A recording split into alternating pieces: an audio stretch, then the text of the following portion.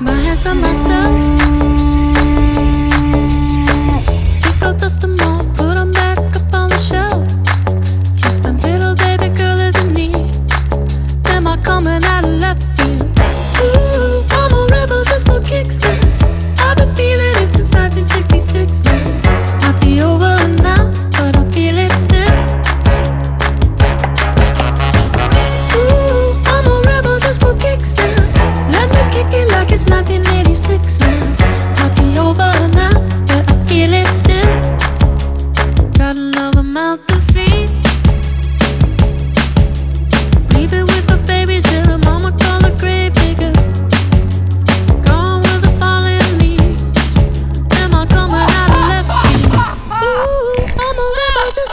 now.